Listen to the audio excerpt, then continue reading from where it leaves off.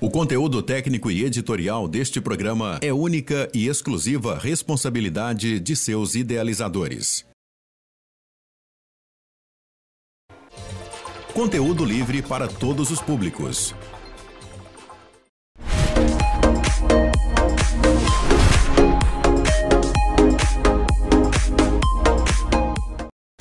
Olá pessoal, tudo bem com vocês? Estamos chegando com mais uma edição do programa da Tamires no dia de hoje. E eu sempre falo para vocês que eu gosto muito de trazer informações, eu gosto de trazer novidades e apresentar a todos vocês profissionais, novos profissionais no programa da Tamires.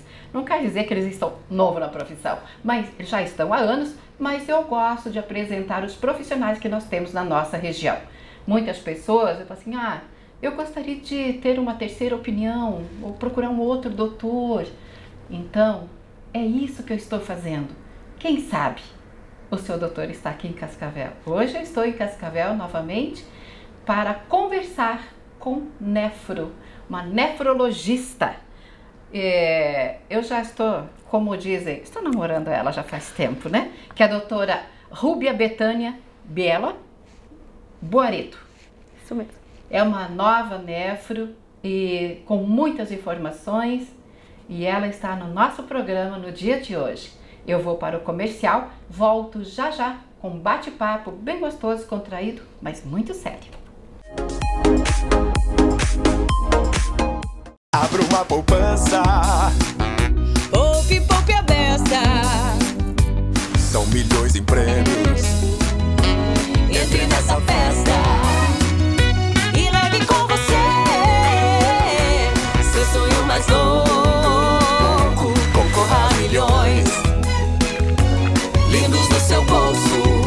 Promoção Poupança Premiada Sicredi. Traga sua poupança pro Sicredi e concorra a 2 milhões e meio em prêmios em dinheiro.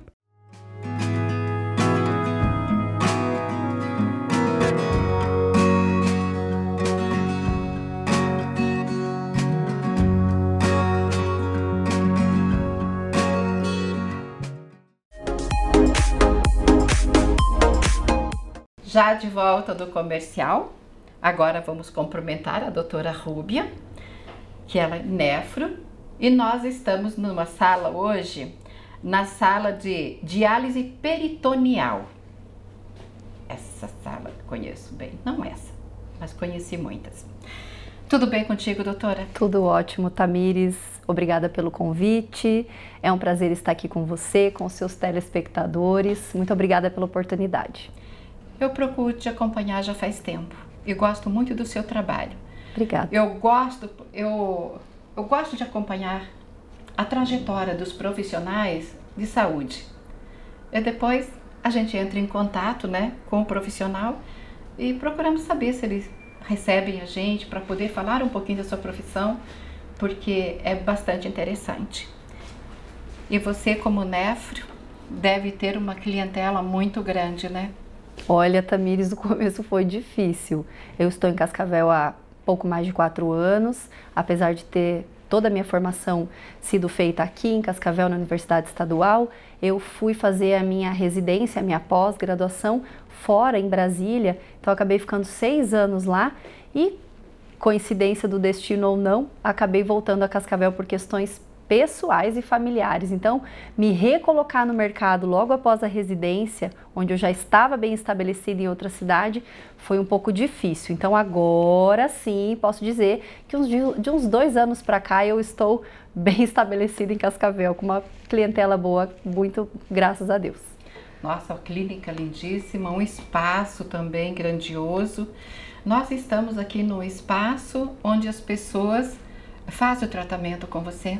Sim, Tamires. A Nefrosaúde é uma clínica de nefrologia e diálise peritoneal, que é um tipo de modalidade de terapia renal substitutiva que a gente pode oferecer aos pacientes que entram em falência renal, quando eles perdem mesmo o funcionamento renal.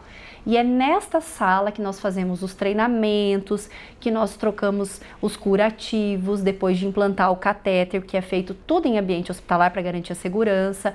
Aqui o paciente passa o dia, quando ele inicia a terapia e ele está assim, é, ainda com dúvidas para ir para casa, o seu cuidador também. Então a gente fica aqui, acompanha a terapia o dia todo, ele vem cedo, passa o dia conosco, almoça conosco e nós ficamos com ele ligado à máquina de diálise peritoneal que funciona na maioria das vezes à noite em casa, durante o dia todo para saber que alarme vai tocar, se o catéter vai drenar, se a infusão vai ser correta, se ele vai sentir dor, acolher mesmo essa família, porque a diálise peritoneal é uma coisa de conjunto. Não adianta eu passar para o paciente e não ter a confiança dele em nós e nós nele nos seus familiares. Então, se está dando certo aqui e nós estamos vendo isso, a hora que ele vai para casa é um sucesso e aí é só continuar a terapia. Então, esse espaço acolhe esse paciente, esses pacientes nesse momento. Muito amor, muito carinho, muita dedicação. E, assim e comprometimento. Exatamente. Muito comprometimento, tá, é, Vira uma família, né? Vira, com certeza. Eles têm nosso telefone, sabe nosso aniversário, manda presente, a gente manda para eles. É uma família, a gente vai agregando. Verdade. Doutora, é, vamos já falar a respeito do, do nosso amado e abençoado rim, né? Porque é o filtro do nosso corpo. Isso, Tamires. É o que filtra tudo, né? É, Tamires, é isso. Então a gente tem que cuidar muito, não tem? Temos, Tamires. Ele é um órgão silencioso. Então, para quem está em casa assistindo hoje o seu programa, é importante que faça seus exames periodicamente, que peça ao seu médico que inclua a dosagem de creatinina, o exame sumário de urina, um ultrassom renal, já pode também vir com o especialista, não tem problema. Pressão alta, diabetes, doenças como essas precisam ser acompanhadas por especialistas e quando há uma detecção de alteração nesses exames, vem até o nefrologista. Ele tem um outro olhar sobre essas doenças. Ah, mas eu já acompanho com esse médico. Não, nós temos um outro olhar. Os rins não são só filtros do nosso sangue, filtros das impurezas. Sim. Eles produzem hormônios, eles controlam a pressão arterial, eles são responsáveis pelo controle do equilíbrio a, da, do, a, dos ácidos do nosso sangue, eles são responsáveis pelo controle dos minerais, o metabolismo do osso. Então, são órgãos fantásticos que precisam estar assim, sempre sendo vistos. Olha só que bacana, gente. Eu nunca tinha ouvido isso. Olha só que bacana, viu? Agora, eu. Sobre o inchaço, né? Porque muitas pessoas. É, tudo bem, tirando a viagem, que às vezes você fica sentado 10, 15 horas, não tem pezinho que não enche, né? Porque você fica sentado muito tempo. Mas o inchaço, né? É, levantar com o rosto inchado, é, barriga inchada, a perna inchada, tornozelo, os pés, tudo é só problema renal ou tem uma outra doença, um outro problema de saúde, falar assim, que também causa tudo isso? Boa pergunta, Tamires. Eu recebo muitas perguntas em relação a isso.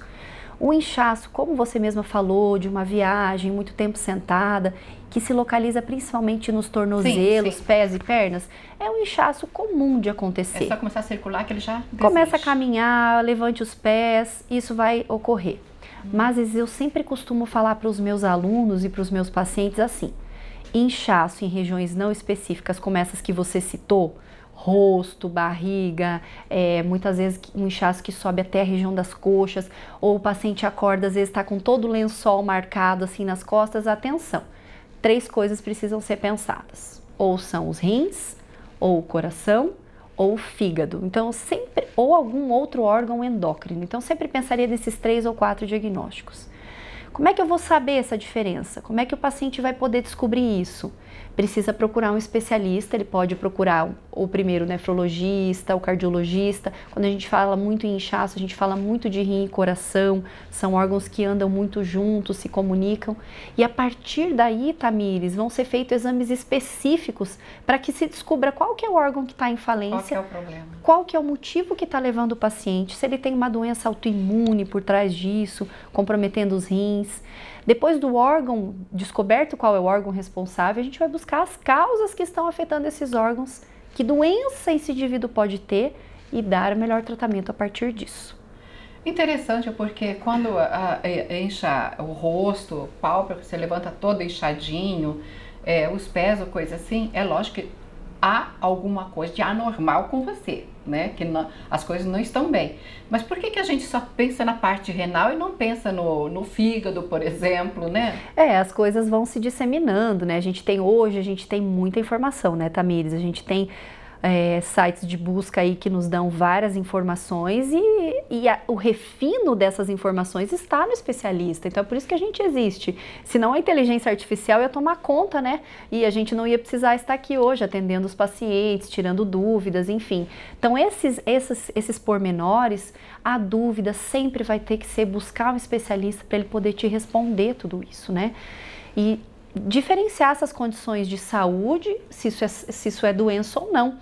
E lembrar, né, Tamires, que nem sempre eles vêm sozinho. Ah, mas eu também tô tendo uma alteração no apetite, eu também tô tendo uma perda de peso, eu também tô percebendo coisas diferentes na minha urina. Então, começa a fechar os diagnósticos porque não vem nada muito sozinho, né? A gente vai, o paciente vai apresentando sinais e sintomas de determinadas doenças. Verdade. O ácido úrico, o famoso ácido úrico, é, o que, que ele pode causar? O ácido úrico, do ponto de vista renal, o principal problema dele, Tamires, são a formação de cálculos renais, pedra nos rins. Ele é o grande vilão, é um dos responsáveis pela formação de pedras nos rins. E assim, é, com relação à doença renal crônica, existia um tabu, né? Por muito tempo o ácido úrico foi estudado se a presença dele em níveis elevados no sangue, mesmo não causando pedra nos rins, poderia levar a falência no seu funcionamento. E viu-se que não, que não é bem assim. Os últimos estudos publicados mostraram que a hiperuricemia, o ácido úrico alto, ele pode ter sim como prejuízo a formação de pedras, mas se não há cálculos renais nem crises de gota nas articulações, tratar o ácido úrico alto não diminui a chance de o indivíduo progredir para falência renal. Então, atenção isso. Às vezes eu vejo outros colegas médicos, outros profissionais querendo tratar o ácido úrico alto num indivíduo que não tem nenhum sintoma. Ah, mas o seu rim vai sofrer? Não. E na verdade, quando se estudou isso especificamente, não viu diferença. Mas é claro, Tamires, lembrar para quem está em casa: se eu sou um indivíduo que tenho pedra nos rins ou que tenho crises de dor nas articulações, aí o processo é diferente. Aí sim, nesses casos, eu preciso Porque controlar. tem pessoas que ficam com as juntas toda inchadinha, né? São os tofos, tofos gotosos. É Faz, bem gostoso mesmo, né? Porque fica bem inchadinho, né? e aí sim, eles causam dor, mas eles podem ser removidos cirurgicamente. Ah, é? Claro, podem. Se eles causam dor, compressão de nervos, aí eles podem ser removidos cirurgicamente sem problema nenhum. E o controle do ácido úrico no sangue é imprescindível. Aí sim, medicamento e adequação da dieta. Então, né, gente? Olha só quantas dicas importantes, né? Nunca fiz uma, uma, uma matéria tão importante. Tem indicação de certos alimentos para prevenção renal? Nós temos que cuidar com a nossa alimentação? É, é, com certeza tem. né? Tamires, sim, é, isso sem dúvida. Olha, Tamires, cada vez mais a gente está diante de um mundo de, de ofertas de alimentos prontos, industrializados e que precisam de conservantes, sódio, muita coisa. Então, isso acaba prejudicando a saúde dos rins pelo hiperfuncionamento, a hiperfiltração, enfim, que exige para que se elimine tudo isso, né? Então, o que, que eu sempre falo aos pacientes? Todos os meus pacientes, eles saem do meu consultório, quem tem doença renal crônica, com uma carta para nutricionista, porque o nefrologista trabalha em conjunto com o nutricionista, não só para restringir, fazer dietas restritivas intensas, não é esse o meu objetivo, é para evitar a desnutrição também e é para aconselhar uma dieta saudável, que é o importante para eles. O feijão, o arroz, as verduras, as outras leguminosas, frutas, tudo aquilo que a gente precisa preparar. E que, assim, ainda quem tem oportunidade, colher na horta é melhor ainda. Melhor ainda. Então, uma dieta Sem saudável. agrotóxico. Sim, seria ideal. Então, aquilo tudo que a gente prepara em casa, em quantidade pou- de, é, reduzida em sal, sem temperos ou conservantes, e que a gente possa muitas vezes lançar mão de temperos, é, temperos naturais, como alecrim, sálvia, orégano. Então, são todos Ervas temperos. finas que ervas substituem finas que muito sus- bem o sal. Perfeitamente. Não é verdade, Isso mesmo, doutora? Tamires. Agora, Dieta saudável. Exatamente. É, salada tá liberado tudo? Claro que tá. Quando o rim vai perdendo funcionamento e vai chegando nas suas fases finais, algumas restrições são necessárias, mas elas são específicas. E veja, jamais o nefrologista precisa, ele precisa sempre se atentar para jamais levar o paciente à desnutrição. Então, às vezes ele vem com dietas tão restritivas que o paciente entra em terapia renal desnutrido. E a mortalidade é muito mais alta do que um paciente que entra em terapia renal eutrófico ou obeso do que quando entra em desnutrição. Então, muito cuidado. Cada estágio da doença renal vai exigir um tipo de restrição alimentar ou uma liberação maior aí nessa, nessa questão de alimentos. Quando a gente está chegando lá nos níveis finais, em que o potássio é o grande vilão, a gente precisa fazer o cozimento dos alimentos, a gente precisa fazer o remolho do, do, feijão, das leguminosas. Então, algumas questões como essas, já que o indivíduo vem em acompanhamento, vão sendo adequadas ao longo da perda do funcionamento renal. Então, precisa sim fazer algumas modificações. Agora, se o rim tá bom, tudo. Tudo normal. Tudo normal. Nós, uma dieta rica em potássio, inclusive, né? Que é o grande vilão que a gente fala ao contrário para os doentes renais. Para indivíduos saudáveis, o potássio é um íon extremamente importante. Ele está presente em tudo: frutas, é, leguminosas, carnes, até nos carboidratos. Então, a gente tem é, potássio em muitas coisas. Ele é um, um eletrólito muito importante para a nossa saúde. Há muito tempo atrás, eu ouvi de um doutor. É, lá em Curitiba, que a pessoa que tem pressão alta, que ela tome o suco puro de pepino. Triturar o pepino e tomar o suco purinho, sem misturar água, que faz muito bem. Só que tem um porém, o pepino acho que é rico em potássio, não é? Tem potássio também. Não é dos mais ricos, mas ele tem. Então, é, eu vejo assim, que se você for usar, acho que isso teria que ser usado com parcimônia, né? Tem que cuidar muito. É, Tamires, eu sempre falo assim para os pacientes, não, não, não acreditem em um milagre único de uma única e tudo verdura. Que houve também. E tudo que houve, olha só, o Brasil é um país que tem é uma alimentação muito, muito diversa, tem diversidade de alimentos. Então a gente tem, se a gente tiver uma alimentação rica em frutas, vegetais, a, a, própria, o próprio, a gente tem uma oferta de variedades de feijão muito grande, de leguminosas muito grande, então a gente não precisa adotar um único vegetal ou um único alimento como sendo responsável pela cura ou pelo controle daquela minha doença. Verdade. Eu posso adotar uma dieta diversa, onde eu tenha acesso a todos os minerais e nutrientes, e que deste modo, tendo uma dieta saudável e tomando minhas medicações, eu vou ir muito bem. E o potássio, inclusive, Tamires, ele é um íon importante para o controle da pressão arterial. Então, uma, uma, ingesta rica em potássio ajuda no controle da pressão arterial. Isso está na diretriz brasileira de hipertensão. Então, isso tá, foi escrito, foi estudado. Então, talvez não seja o pepino, mas assim as verduras, frutas em quantidade suficiente vão nos ajudar com certeza. Para controlar bem, né? Eu vou para o comercial e eu volto já já com a doutora, porque nós vamos continuar aqui o nosso bate-papo. Tem muitas perguntas para ela ainda. Volto já já com vocês. Abra uma poupança. Poupe, poupe a beça. São milhões em prêmios. Entre nessa festa. E leve com você seu sonho mais louco.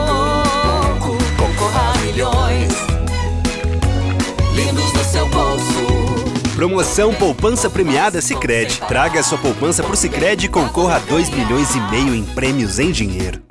Olá, pessoal, tudo bem com vocês? Eu estou na nova clínica Dr. Augusto Legnani Neto, Oftavita, Hospital Oftalmológico, que agora nós estamos em novo endereço. Lembre-se, Dr. Augusto Legnani Neto, oftalmologista e cirurgião. Também nós temos Dr. Paulo Igor Howen, que é especialista de retina, na cidade de Umuarama, no estado do Paraná. Para você agendar consultas, é só anotar o telefone que está no rodapé do vídeo. Oftavita, Hospital Oftalmológico na cidade de Umuarama. Venham e faça sua consulta. De volta do nosso comercial, vamos continuar, porque nós paramos, nós falamos de, de saladas, nós falamos da comida, mas tem, ah, eu- há muito tempo, há um tempo atrás, não se ouvia falar antibióticos, anti-inflamatórios, que não prejudicavam, mas depois começou a aparecer, não pode tomar mais que sete dias um antibiótico. Depende, Tamires. Então, é isso que eu quero saber. Nós vamos falar sobre isso: antibiótico, anti-inflamatório e drogas. A bebida alcoólica, será que prejudica nosso rinzinho? Vamos lá.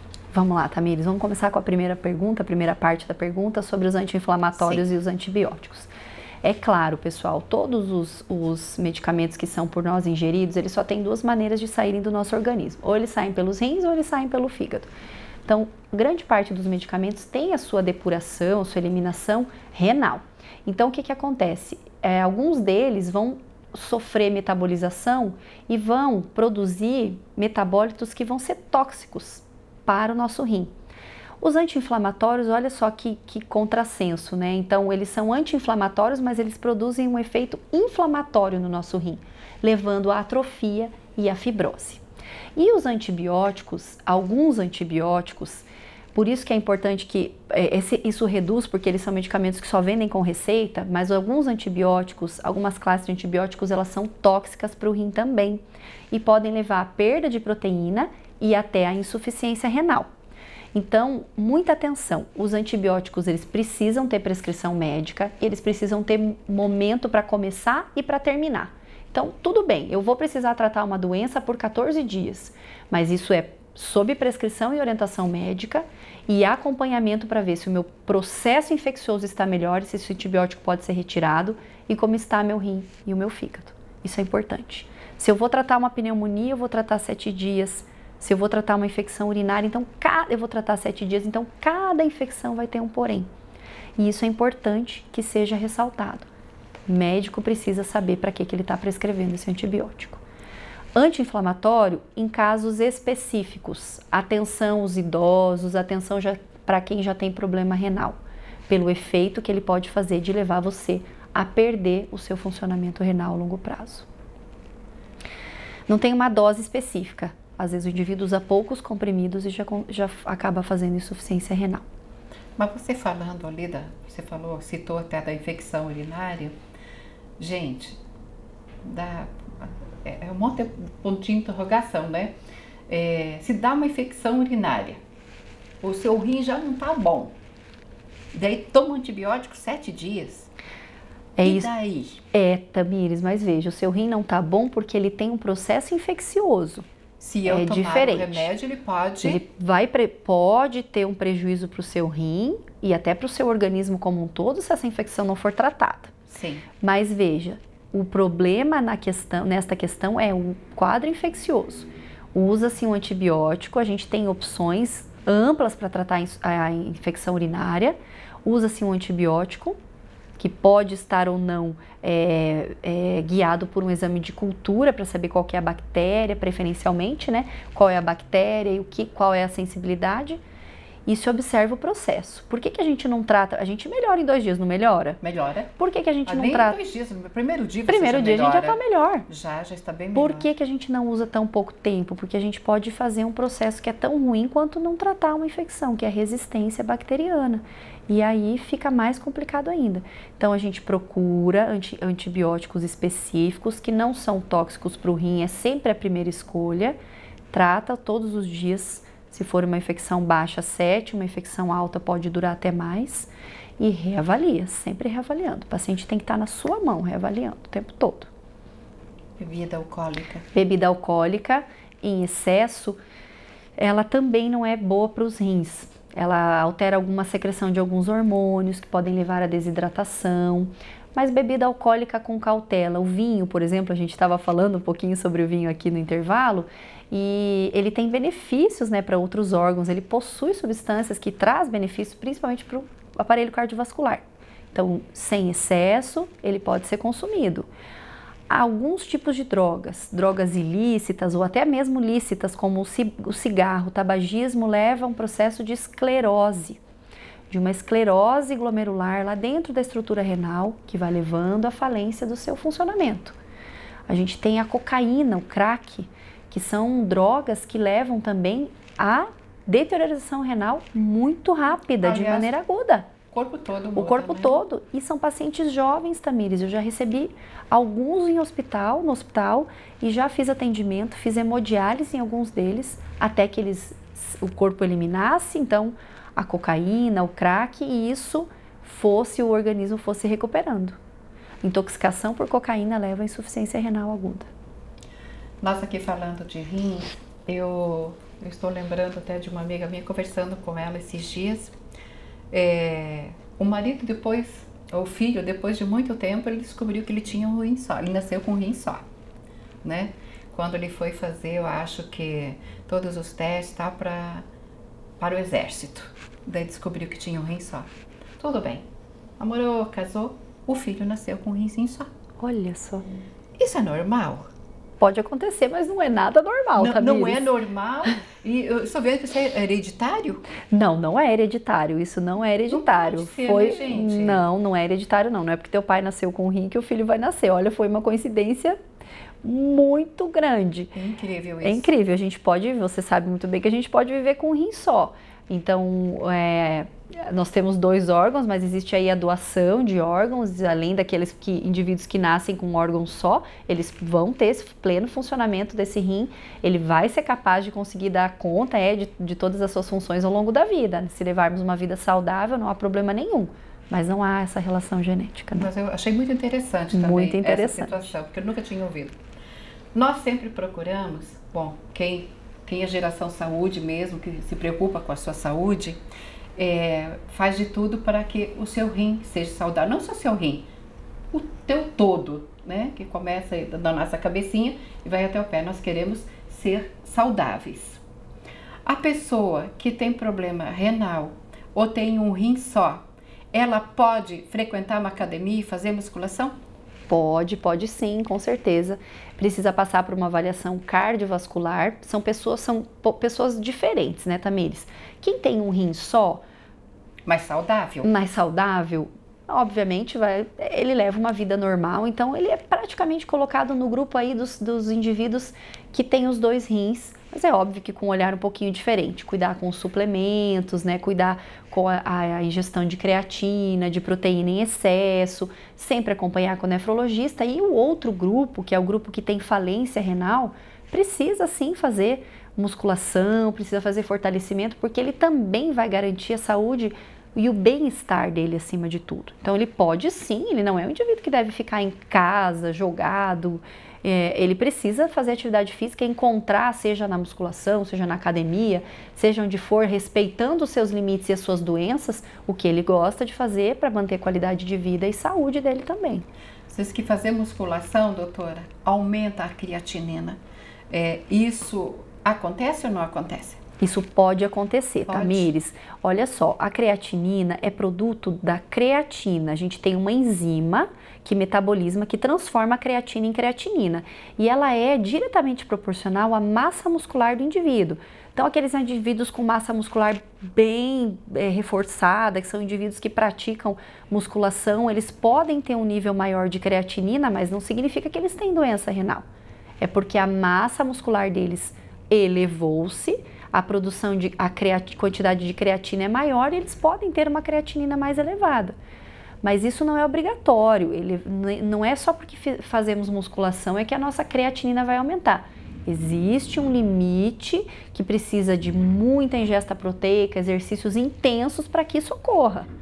Na maioria dos indivíduos com, a- com suplementação normal de 1,2, 1,4 grama de proteína por quilo por dia, a gente não vai ver elevação de creatinina no sangue. O organismo dá conta de eliminar e, e- e ele se mantém num, num, num contínuo, estável. Agora, os indivíduos que usam suplemento e que têm uma massa muscular elevada, sim, a musculação por produzir músculo, aumentar a nossa massa muscular, vai poder produzir, aumentar a creatinina. Aí precisam de outros exames para a gente poder detectar, diferenciar se ele tem insuficiência renal ou se ele tem só aumento de massa muscular. Verdade. Bom, deixa eu ver aqui. Bom, o- a gente, sempre que a gente procura fazer, eu já fiz, eu, eu acompanhamento médico, mas eu gosto também, é, às vezes repetir o exame até bem por conta, né? Que é o parcial de urina, para ver como que está tudo. Isso às vezes eu faço, porque vocês sabem muito bem, quem acompanha a minha história, é, eu doei um órgão para minha filha, já, já está fazendo uns 10 anos mais ou menos, e eu estou muito bem. E daí o rim cresce. O rim cresce. Ele cresce. Aí tem um só para dar conta dos, Dos dois, é isso mesmo. A gente chama que fica um rim vicariante. É um Ah. rim que aumenta de tamanho, por quê? Porque a gente tinha uma quantidade de unidades funcionais divididas em dois rins e agora a gente só tem um rim, então ele acaba sofrendo um processo de hiperfiltração. E com isso, as unidades funcionais que estão lá dentro dele, elas acabam crescendo. E o tamanho do rim, por consequência, cresce para conseguir, né? é, Ele é forçado a crescer, eu acho, né? isso, ele é forçado, é uma hiperfiltração, mas que não é maléfica até certo ponto. A gente vai acompanhando e o indivíduo passa muito bem a vida toda dele aí. Ele acaba aumentando de tamanho como compensação. E sabe, Tamires, que o paciente que recebe o rim, que ficou com aquele rim, também cresce aquele rim dele, porque ele mesmo? também vai ter um rim só, Ele vai ter um só. ele vai ter um só e ele vai passar pelo mesmo processo. O organismo é muito sábio. Olha só que bacana, gente. Isso é muito bom mesmo. É, é assim, é uma entrevista que nós acabamos é, sabendo um pouco mais a respeito, né? Sempre falo que nós não sabemos tudo e cada um no seu quadrado. Eu vim procurar Nefro para que ela pudesse explicar, responder a nossas perguntas e tirando nossas dúvidas, né? É, doutora, quais são os exames primordiais para a gente saber como que está né, nossa parte renal, nossas funções renais e, e quantas vezes nós devemos fazer por ano? Claro, aquela pessoa que se cuida. Boa pergunta também, Tamires. Para quem está em casa, se eu tivesse que falar, escolher um exame, eu escolheria a creatinina. Eu não, né? Nós especialistas em rim. a creatinina, ela é um marcador do funcionamento renal, mas ela sozinha é um ótimo marcador, mas eu preciso de um pouquinho, se eu quiser um pouquinho mais, é o exame de urina e, a ecografia dos rins, ultrassonografia ou ecografia renal. Esses três exames são exames simples, os dois primeiros bem baratinhos, então que o médico consegue, o generalista já consegue acompanhar, e o ultrassom vai ser para eu ver se eu tenho os dois rins, se o meu paciente tem os dois rins, se eu tenho a presença de algum cisto, de algum nódulo, qual o tamanho desses rins, como é a característica desses rins. A gente tem malformações renais também que precisam ser acompanhadas e que nem sempre alteram creatinina e exame de urina. Então, uma- se eu tivesse que falar, seriam esses três exames, Tamires. Se o indivíduo faz esses exames é, e, esses- e eles estão todos normais, ele não tem nenhuma doença, eu posso repetir daqui a um ano esse exame. Não precisa repetir nenhum ultrassom. Tava tudo bem, a gente posterga um pouquinho esse exame. Mas o exame de urina e creatinina anualmente. Agora, se você tem doença renal que foi detectada, vai depender da gravidade da doença. Muitas vezes a gente faz um acompanhamento trimestral, ou a cada quatro meses, ou a cada seis meses, conforme for os teus- forem os teus níveis de creatinina. É, agora vamos ver se é mito, né? É mito, não é mito? Mitos ou verdades? Mitos ou verdades? Diz que quando a creatinina aumenta, eu não sei qual que é o normal dela, né? Normal. Mas que quando ela está aumentada, diz que dificilmente ela volta ao normal. É verdade? Mito. Mito. Assim, a gente tem situações em que a creatinina vai aumentar de maneira abrupta e pode sim retornar. Ela pode até quanto? Até quanto é normal? Até um, depende da idade, mas assim, se a gente for estabelecer um número até 1.20. Um mas é claro, 20. 1.20, mas veja, Tamires, se eu tiver diante de um idoso, pesa, sei lá, 45, 50 quilos, tem 80 anos, não tem nada de massa muscular. Essa creatinina de 1.20 pode ser alta para ele. Então, eu tô falando de uma maneira bem geral para quem está em casa entender. Mas se- a- como a gente falou antes da creatinina ser, ser- ela ser proporcional à massa muscular, eu- se eu tiver diante de uma idosa, um idoso de 40, e- de, com 45, 50 quilos, 80 anos, que não tem nada de massa muscular, talvez a creatinina de 1,20 para ele seja muito. Então, essa é a creatinina sempre avaliada dentro de um contexto. Mas, no geral, indivíduos aí de meia idade, saudáveis, até 1,20. A gente consideraria o normal. Tá. Ela pode, e, desculpa, respondendo a pergunta, ela pode, pode aumentar de maneira abrupta. Ai, sei lá, eu sofri um acidente de trânsito, tenho 30 anos. Sofri um acidente de trânsito, fiquei grave, tive várias fraturas, fui para UTI, precisei de antibiótico, de sangue, hidratação. O rim acabou sofrendo injúria, sofrendo uma lesão. Ah, com certeza. E a creatinina, sei lá, foi para 2. Se isso tudo for tratado em tempo, esse indivíduo vai voltar a ter sua creatinina basal. A despeito da perda de algumas unidades funcionais, ele vai manter a sua creatinina basal. Então Entendi. depende, depende do que, do qual foi o insulto. Por outro lado, se eu estou diante de um insulto crônico, de uma doença crônica, hipertensão, diabetes, doença renal policística, aí esse insulto vai ser crônico, essa creatinina vai progredir para sua perda, né, progressivamente, lenta ou mais rápida, dependendo da doença. E aí ela tende a não voltar. É, o diabético, né, o portador do diabetes, ele não tem o pâncreas. O pâncreas parou, mas o rim está em funcionamento. Daí vai fazer o exame, deu lá 1,2. Isso é normal? Para uma pessoa de 58, 59 anos? Olha, depe- vai depender do peso dela, mas a gente já está bem limite, bem magrinha. limítrofe. É o que eu conheço, é bem É? magrinha. Tá bem limítrofe, né, Tamires? Precisa de um- uma avaliação complementar. Esta sim merece um exame de urina, merece um exame de ultrassom e um acompanhamento.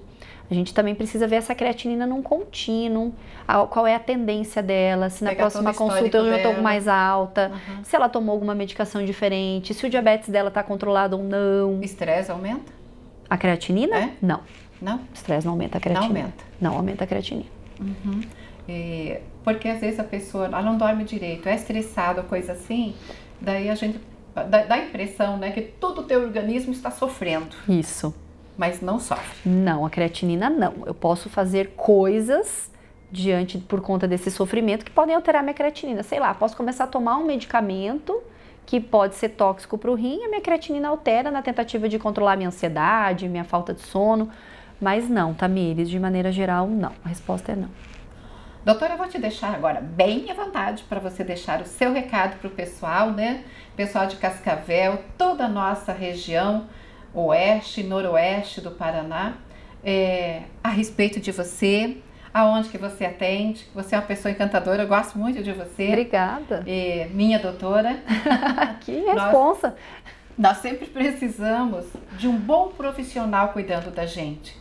Porque às vezes as pessoas acham que ir lá na ginecologista ou, ou ele ir no urologista e pede os exames lá, mas tem muitos exames que eles não pedem e muitas doenças elas estão instaladas e são silenciosas. Então sempre você tem que ter um bom profissional ligado com você. Eu, por isso que muitas pessoas falam assim, ah, Tamires, porque nós temos médicos na cidade, você foi entrevistar outro lá na outra cidade. Eu falo assim, ah, eu procuro saber dos profissionais, né? Então, tudo aquilo que está no meu alcance. E como eu estou aqui em Cascavel, já morei 42 anos aqui, então a gente tem um amor e um carinho, um respeito muito grande por esta cidade, que está crescendo a passos largos, uma cidade muito bonita, excelência na área da saúde. Então, se você precisar, estou falando da minha parte, precisar de um bom nefro, Cascavel tem. É a doutora Rubens. Obrigada, Fica à Tamires. vontade, doutora. Olha, eu atendo em Cascavel, na Clínica Nefro Saúde, pelo telefone 3306-2456 ou WhatsApp, pode passar o telefone Pode, aqui? tudo. 991511520. Estou nas redes sociais, no Instagram, arroba Nefrosaúde. Visite lá, veja os- o, o conteúdo, veja que você, é, é, o- qual que é o meu trabalho funciona nessa linha, Tamires. Eu, eu procuro fazer uma medicina baseada em evidência, não é nada da opinião minha ou de outro especialista, é opinião de consensos, de estudos, de trabalhos. Eu procuro praticar essa medicina. Tudo que eu faço eu procuro fazer com muito amor, então eu gosto de receber meus pacientes. Por isso tenho- resultado. Tenho um amor com a profissão e viro amigos, né? Viramos amigos. Eu acho que essa cumplicidade faz com que ele tenha uma adesão melhor ao tratamento. Estou à disposição, quero criar, quero fazer com que Cascavel, a- através da Nefrosaúde, seja um centro, um polo em referência à nefrologia, que nós possamos agora, com a nossa ampliação, conseguir trazer todas as, as tecnologias que a nefrologia merece e que Cascavel ainda não tem. Então, estou à disposição, entre em contato e o que eu puder, eu vou estar aí para te ajudar, estudando, sempre tentando melhorar.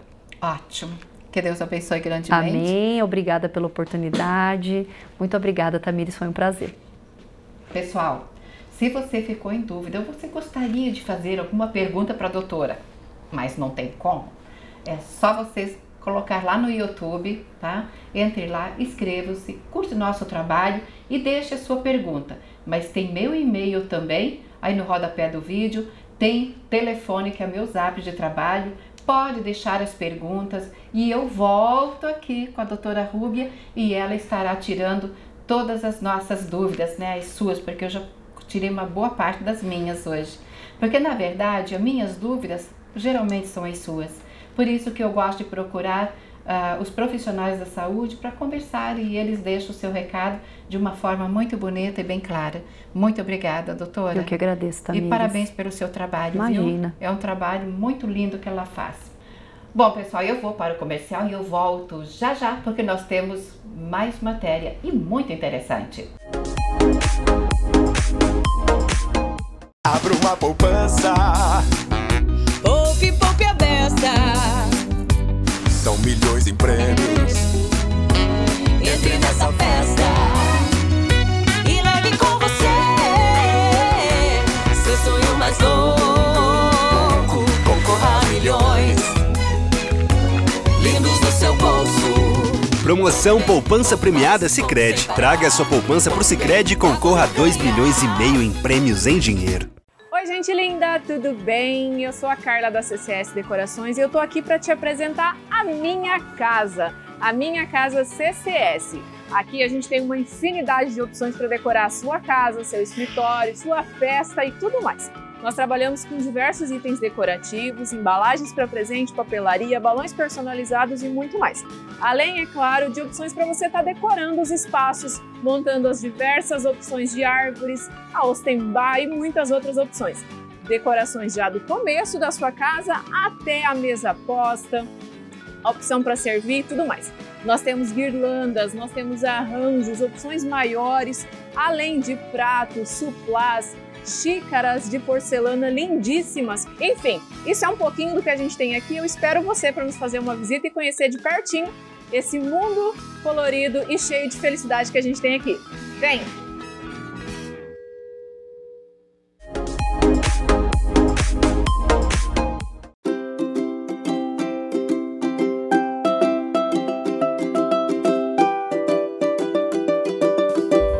Pessoal, tudo bem com vocês? Já estou na minha cozinha porque hoje nós vamos fazer uma cuca com recheio de vinho tinto.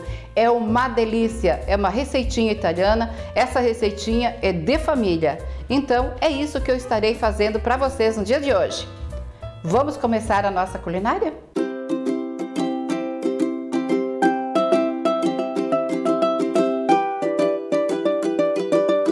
Olá pessoal, tudo bem com vocês? Hoje a minha culinária é uma cuca com recheio de vinho tinto. Vamos aos ingredientes.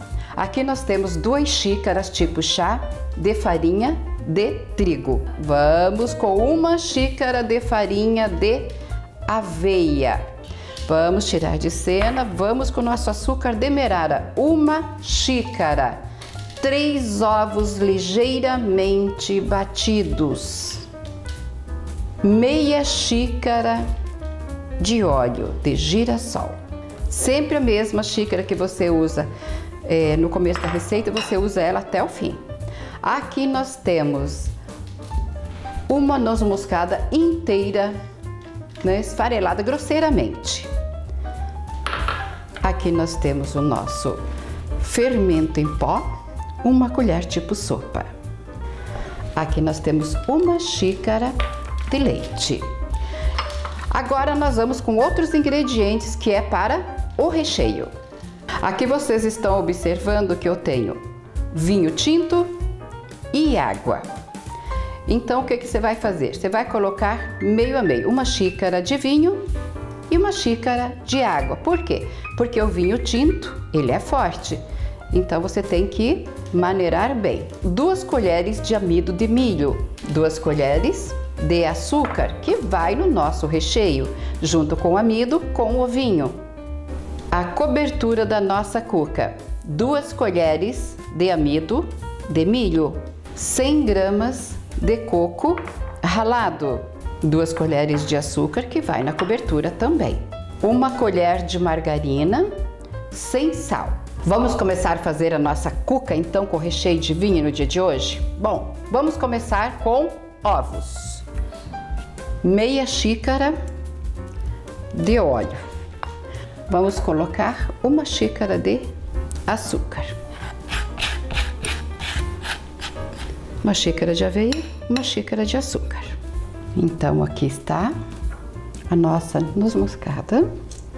Vamos triturar esse aqui e daí já vamos colocando outros ingredientes.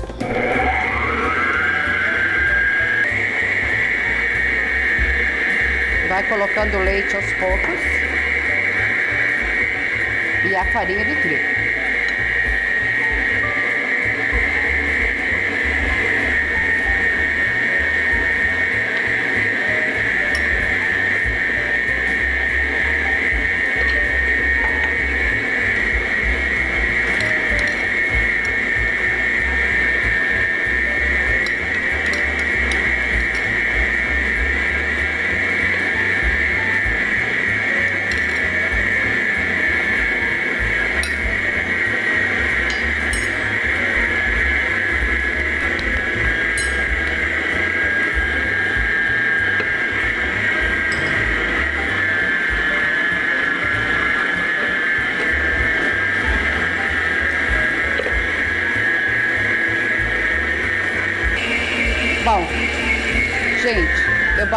Acho que uns, uns 6, 7 minutos. Agora vamos com o fermento. Vocês sabem muito bem que o fermento, quando você coloca, né, nosso fermento em pó, então você tem que cuidar para não bater muito. Só uma batidinha bem rapidinha.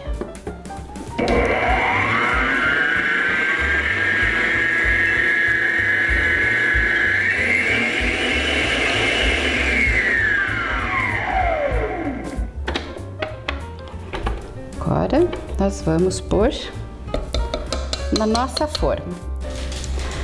Tá. Eu já montei aqui uma forma. E nós vamos por aqui. Tô pensando em fazer esse. Então agora eu vou deixar ela aqui e vou fazer o meu vinho. Bom, aqui eu tenho as duas colheres de maisena,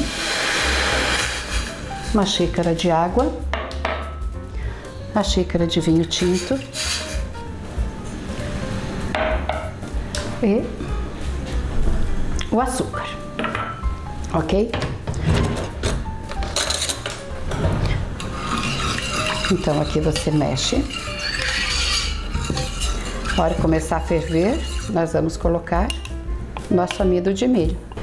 Eu vou colocar um pouquinho mais de água aqui. Nós temos que dissolver esse amido. Esse creme não pode ficar muito duro. Fiquem atentos, ok? Bom, está quase levantando fervura, então vamos lá. Você vai fazer o creme de vinho.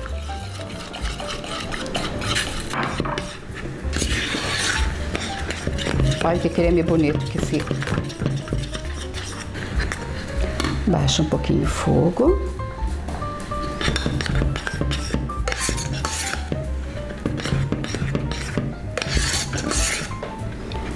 Que cheirinho gostoso de vinho. O forno já está ligado há 15 minutos. Eu vou contar para vocês aqui o que eu fiz. Eu quero fazer duas camadinhas, né, de recheio de vinho. Então eu coloquei a massa, mas eu tirei um pouquinho. Eu vou pôr o recheio e depois nós colocamos a massa e vou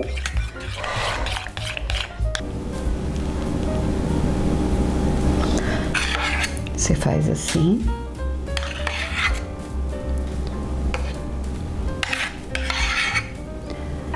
E assim. E agora eu vou colocar mais um pouquinho de massa.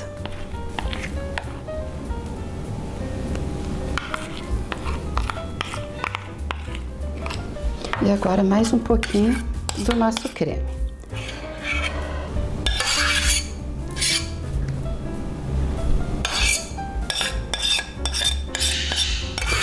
Essa cuca é receita da minha mãe Ana, minha mãezinha querida, que eu amo muito, uma mulher de 83 anos praticamente e que cozinha, mora sozinha, cozinha para ela, faz tudo. É uma benção. Agora o que, que eu vou fazer? Eu vou colocar a cobertura da cuca. Vamos fazer. Vamos deixar isso aqui de ladinho e vamos começar a fazer a cobertura. Duas colheres de açúcar. Eu estou usando o açúcar, é açúcar grosso. Duas colheres de amido. Uma colher de margarina sem sal. Aqui eu vou colocar o coco. Eu tenho 100 gramas de coco aqui, tá? Então o que, que eu vou fazer? Agora é mão na massa e vamos mexer até formar isso aqui num farelinho. Quando você fizer as suas coisas, procure usar luvas, esteriliza tudo que está por perto de você. A gente cuida muito disso.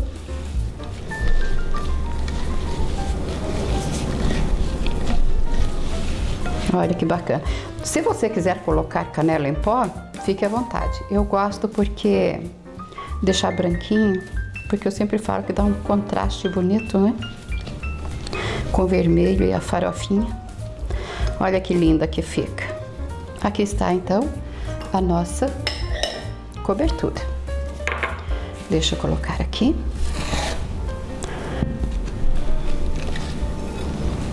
É claro que eu fiz cobertura até demais aqui, né? Isso aqui é quase que para uma forma grande.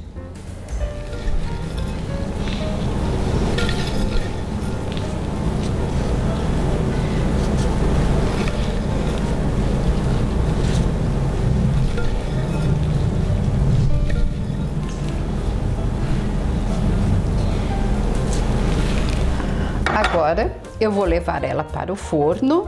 Ela ficará no forno de 35 a 40 minutos, depende de forno para forno. O meu forno é elétrico, então pode variar do fogão a gás para o forno elétrico, ok? Eu mostro para vocês prontinha. Vamos tirar a nossa cuca do forno. Olha que linda. O recheio de vinho está à mostra.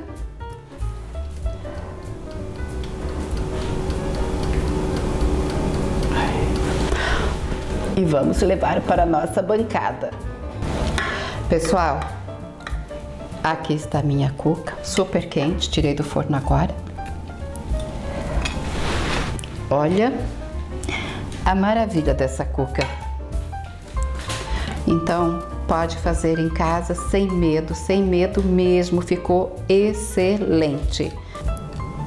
Não ficou, não ficou batumada como o pessoal fala, ela ficou fofinha.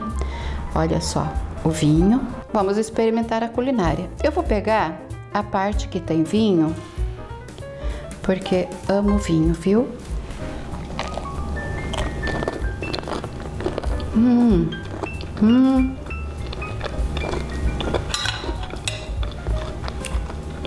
Tudo crocante em volta. Bom demais.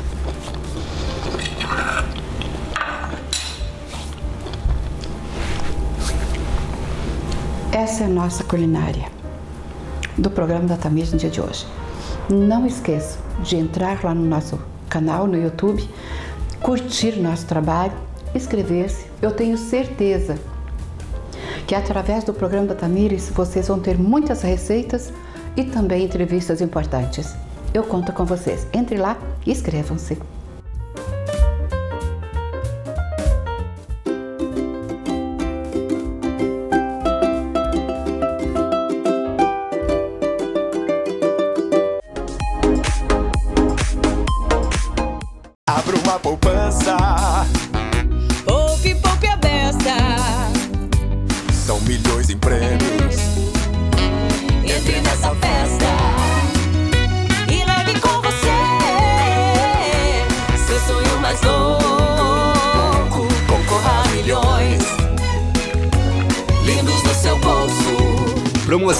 Poupança Premiada Sicredi. Traga sua poupança pro Sicredi e concorra a 2 milhões e meio em prêmios em dinheiro.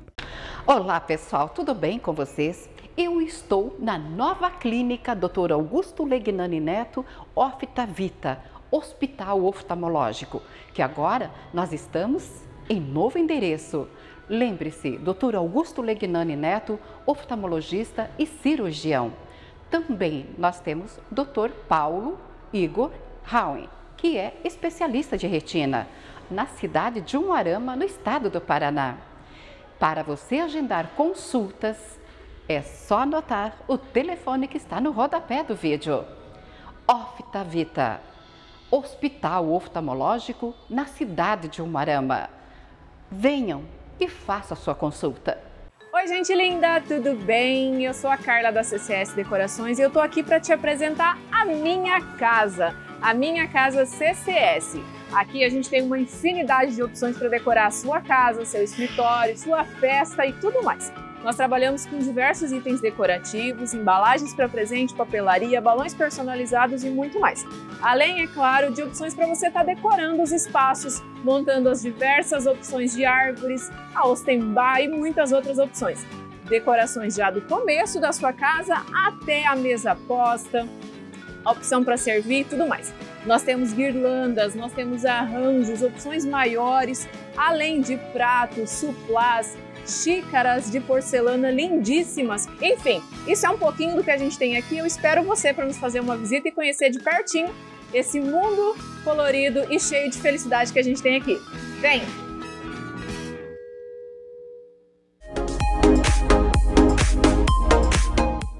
E o programa da Tamires chegou ao final mais uma vez. Obrigada pelo carinho e atenção de vocês. A qualquer momento eu volto com muito mais novidades para vocês. Porque o programa da Tamires é um programa informativo. Eu gosto muito da área de saúde. Então, por isso que eu sou bastante curiosa, então eu levo até vocês, porque com certeza vocês gostam também. Beijos e abraços e eu volto a qualquer momento. Tchau, tchau e até mais.